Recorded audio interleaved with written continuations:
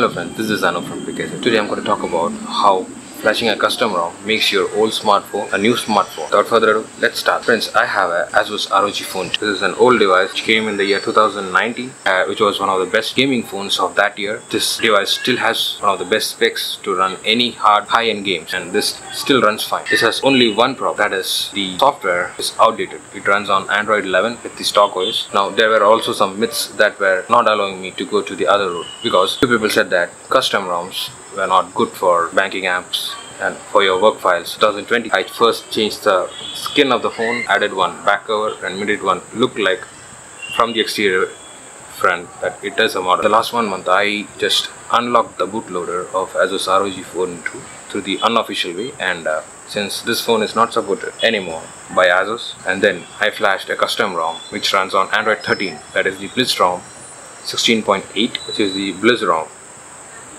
and this runs Android 13. After flashing this custom ROM, I started to use my Asus ROG Phone 2 as my daily driver. This is the same phone that I used that I use for my work and also for banking apps like Google Pay.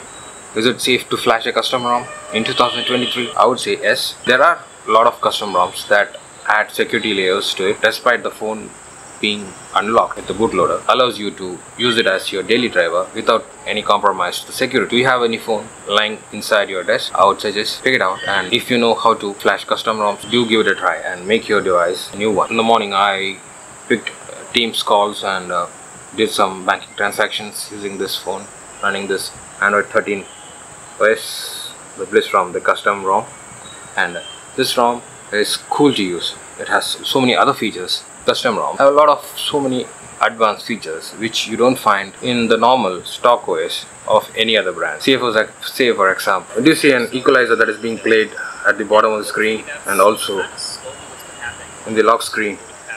That there is some equalizer that's played and you have a dot or nothing type of uh, fonts here on the lock screen and there are so many customizations that you can do with a custom ROM.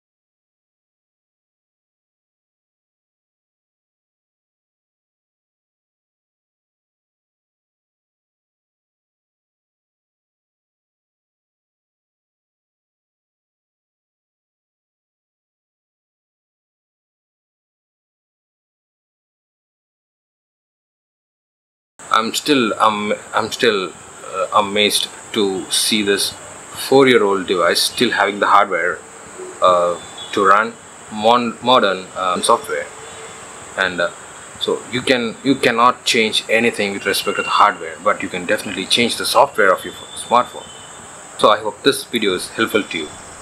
And you might so if you are someone who who are trying to check if custom ROMs are good for modern smartphones and it is is it safe to use it for banking apps and, and normal daily life. I hope this video is useful to you. Let's meet in the next video. Until then, this is Anoop signing off. Bye bye.